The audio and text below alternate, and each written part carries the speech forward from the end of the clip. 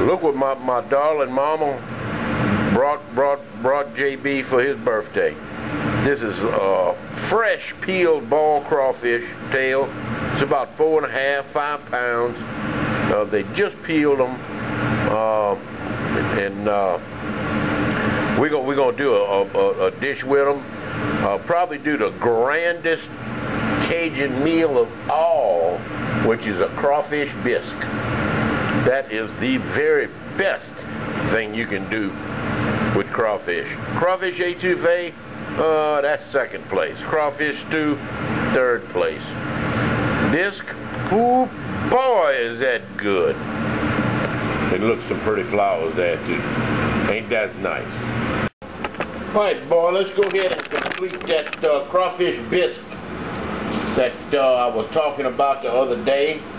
My mama brought me them crawfish tails that she peeled, and my mama and daddy peeled so carefully. So I'm gonna smash up some garlic. Normally a crawfish bisque takes about two days to make. You gotta boil the crawfish, peel them, and, and then you proceed with the second day. But the crawfish have already been, been cooked, so now we can go ahead and proceed with this recipe. And I'm going to show you how to condense it a little bit more, make it a little easier, because normally you would stuff the thorax of the crawfish after you painstakingly uh, cleaned it, which painted in the butt. And you would stuff this, this, this breading mix that we're going to make into that thorax part of the head. Uh, but we're just going to make some balls. Old Juice Dan Wilson, he said just make some little balls. You can bake them in the oven or you can fry them. He also did, uh, did it one time and he just made like a little meatloaf. And he sliced it up and give everybody some. You put a little piece of it. We're just going to make balls. It's going to be easier. So, we got garlic, smash up. We got food processor. Got more ingredients coming. All right, ingredients, some thyme, some uh, cayenne pepper, a little slap your mama for good measure, some salt, uh, garlic, black pepper, uh, parsley, uh, green bell pepper, onion, butter, green onion. Now the, the, the celery don't go in the heads. Let me show you a little trick too. This is an egg. It's going to go in there also. If that egg don't spin and just spin, spin, spin, spin, I mean fast spin when you do it like that, the egg's fresh. If, if, it, if it spins really, really fast, it's either frozen or it's been hard boiled. Hey, that's a bitch. Alright, lemon. Some lemon juice got to go in here. First thing we're going to do is melt this butter down. And uh, crawfish, crawfish tails are going in this too. Just, just stand by. I want to let y'all in on a little secret. All measuring cups are not created equal. This is an Anchor Hocking brand. It's off by about uh, eighth of a cup. When it says one cup of water, it's bullshit. Uh, Pyrex brand is off. Many brands are off. An actual cup of water is 236.6 milliliters. Okay? So if you would go and play with your measuring cups using a graduated cylinder, a scientific cylinder, or, or, one like this that don't have no dents in it. See how that you got a dent right there? That gonna make it off. You're trying to do something really, really precise. It's gonna make it off. Anyway, we got some breadcrumbs. Okay, so the things that's gonna take longest to mice, mince, in the food processor are gonna be them bell peppers. And while all that's in there, we're going to put all the dry ingredients in there with the garlic that was sticking. Off of that boy. All them garlics got to go in there.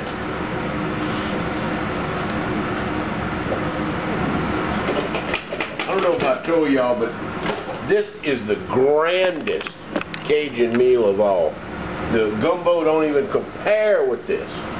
This blows gumbo out the water. This, this blows any other meal that a Cajun would make out the water, totally. Right. So we're gonna go ahead and add some uh, that butter. Go on in there, butter. Shake well. Pet milk. Evaporated milk. Stand by. I gotta shake the shit out of it. And really what I had to do was go get another pop. So we're gonna go ahead and put a quarter cup of this in there. We may need a little more. We don't know yet. What Cajun cooking is all about. And there's 450,000 different ways to make this recipe. And boy, you better cooperate, you son of a bitch, you.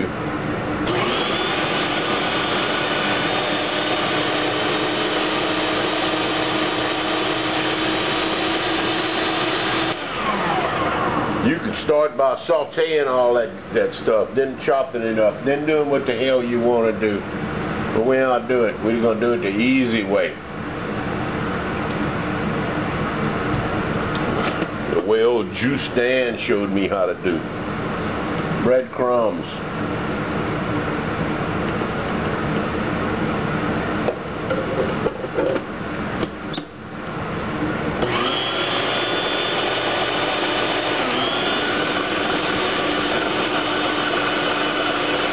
More of 'em.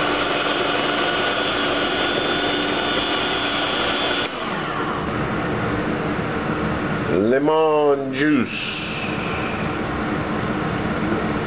I think it calls for three tablespoons. That looks close. We go with that. Egg.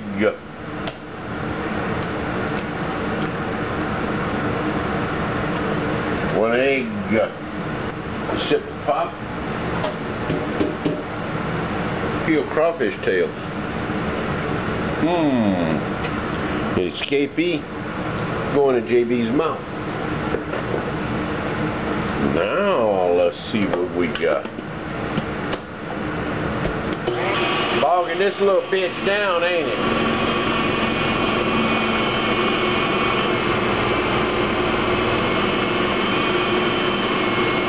Ain't me shaking, that's of a bitch. Don't burn it up, JB. Like you got you a batter in there now. Yeah, see? Now we can make some balls with this. See that? Still got a couple whole pieces in there. It'd be alright. Don't worry about it. Gotta make sure it got enough salt though. Mm-hmm. It tastes right. Very seldom does JB screw up. Very, very seldom. You know how super geniuses are. I almost forgot. We were supposed to add a couple tablespoons of uh, olive oil, and I did. So now we're going to add a little bit more breadcrumbs, ticking it back up. Do the Cajun hokey pokey and dancing all about. That it about. Boy, boy, ooh, ooh. All right. Don't, don't tear your britches off. Better. Better. Man, that tastes good. Even with raw egg in it. Who cares? Alright. So we're going to pull this puppy dog off. Now we got to go make us a roux. So we're going to stick this in the refrigerator. Because most of these ingredients was cold. So we're just going to leave them in there for a little bit. Come back to it. Alright, so we're going to make us a two beer roux. And that's going to take uh, either... Y'all asked me about making an all butter roux. you better have a whole bottle of Tums, Pepcid ACs, uh, something. You talk about gonna make heartburn. Alright, here's a half cup of shortening. If I do it with all butter, it'd bother my stomach. And if you ain't a Cajun, it'd liable to kill you. Just don't do it. It'll be too rich. You also already got all of the, look boy, you already got all the damn spices from the, uh, the crawfish and the cayenne pepper. And you don't need no more. If you can't get crawfish, use shrimp. If you can't get shrimp, use lobster. If you can't get lobster, use crab. Make a crab bisque, a lobster bisque, a shrimp bisque. It don't matter. We got crawfish, so we do it. A crawfish dip. A crawfish bisque. Turn the fire on, JB. Maybe it'll start melting, huh? Amazing. Rocket science. Submarine building and shit.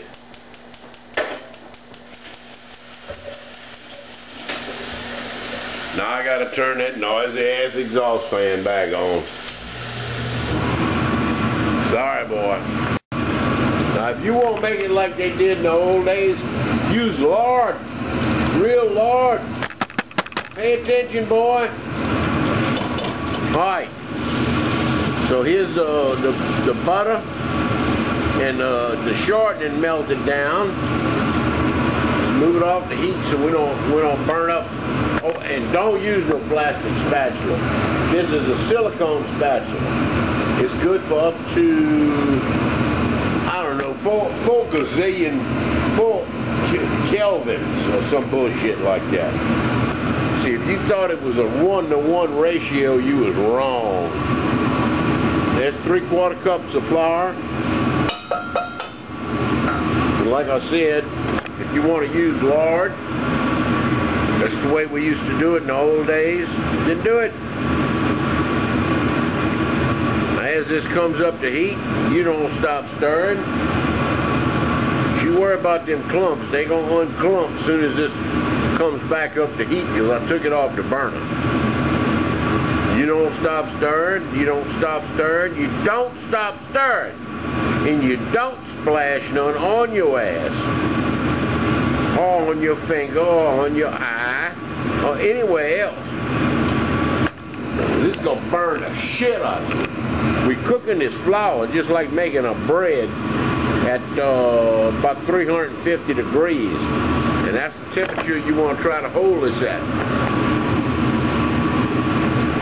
Drink you a couple pops with foam on top while you stir, stir, stir, stir. Making a roux. Amazing, huh? So it'll take about 20 minutes.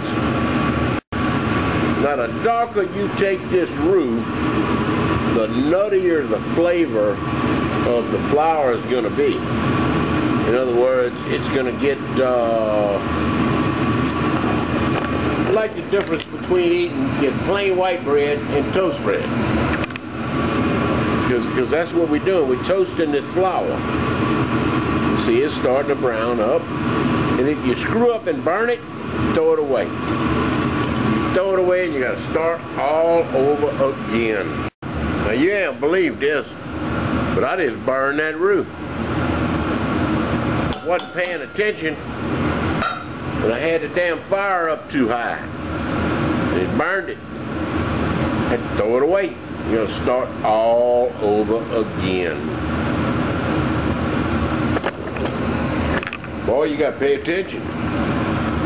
Even super geniuses make mistakes. So, ain't nobody perfect. Not nobody on this planet anyway.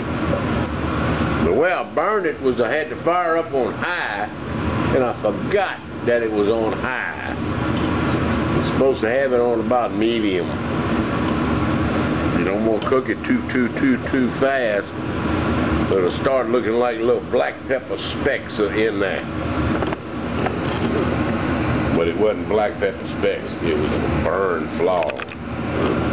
Flour, boy.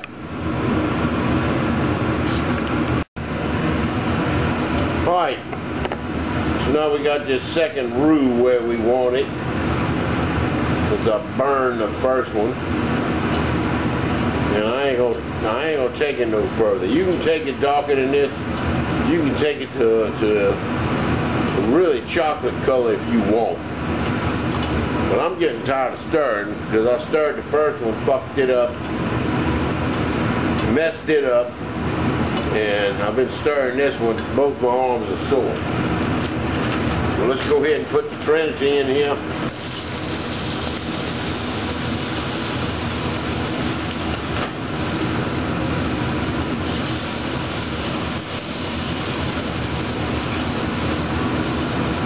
See that, that, that frozen Trinity, or even regular Trinity, if you'd have cut it up yourself, reduces the heat in the pan.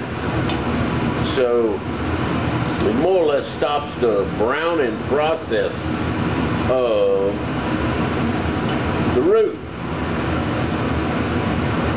And as these vegetables start uh, re releasing their water, it's going to start thickening up. See how it's doing? That's what you want. Can't really stop stirring yet, but you don't got to stir continuously. I think I'm going to put a little bit more. About like that.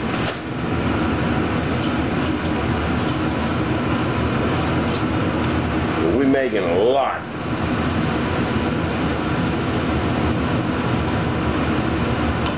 Okay? Now we can go ahead and put a little salt in here.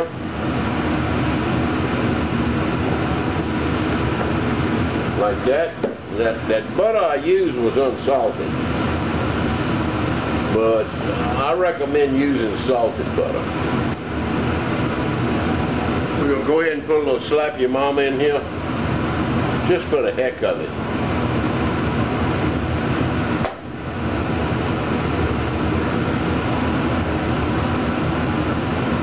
We got to get garlic in here too. It's going to go in in just a little bit. Not yet. Alright, let's go ahead and get the garlic in now.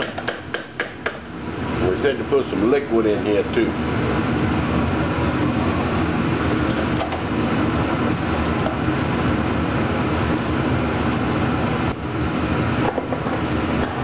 Alright. Let's go ahead and get us some uh, tomato juice in here. You can put real tomatoes, you can put any damn thing you want. Dump it in there. Well, Lea and Perrin. About like that. Stir this about. A little lemon juice in there. Put a little bit of thyme. Let's put some more parsley flakes. You got fresh, use fresh. Put some black pepper. Stir it all about. Then do the hokey pokey. And shake your ass about. Right. Now it's it's gonna need some some stock. Or some water or something. So we're gonna do that too. Go ahead and put us some stock in here. Water stock. Yeah, I got stock in the water company. So put it all up in there. And we, this got to cook down. Alright? So we're going to let this cook down for a while. About an hour. Looks like we need some more stock.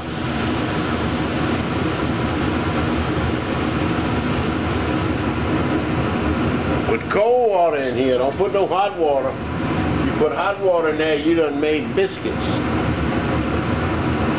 Or dumplings or whatever. See, that cold water blends right in. Only thing you see is the vegetables.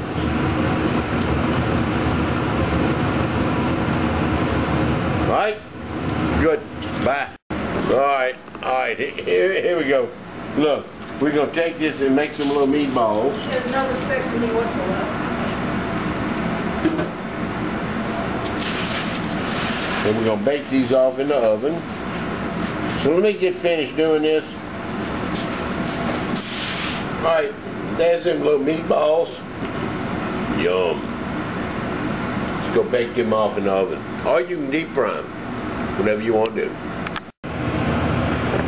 Now there's our bisque. And I went ahead and, and defatted some of it. And that's actually the roux mixture with the vegetables and all that. And here go in the crawfish tails. Whole and ready to eat. Yum, boy.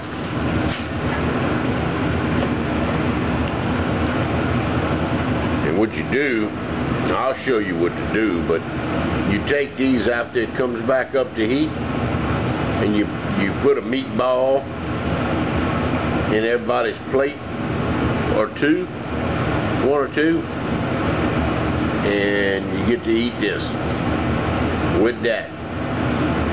And you talk about fine eating. Like I said, this is the grandest Cajun meal of all. It doesn't, gumbo doesn't even compete with this. This is the finest of the finest. The best of the best of the best. Boy. All right, here we go. Here's those balls. And uh, we've got to release them from the bottom of the pan. And that could be some kind of problem. All right. We're going to put them in that uh, stew or bisque.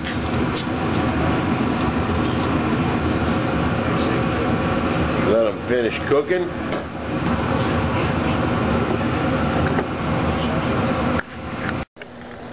All right, the grandest Cajun meal of all, rice. We eat rice with every damn thing. Now here's this crawfish bisque with them crawfish meatballs.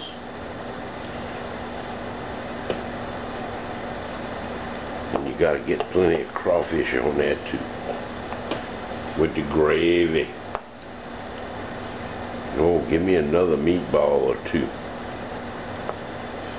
Yum, boy. You see that right there? It don't get much finer than this. This is a grand meal. Now all we got to do is go get that bread out the oven. And I got some melted butter that go on top.